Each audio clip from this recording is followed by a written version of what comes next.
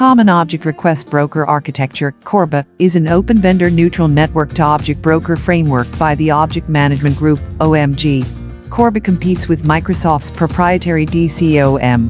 CORBA objects communicate via message interface, described by the Interface Definition Language, IDL.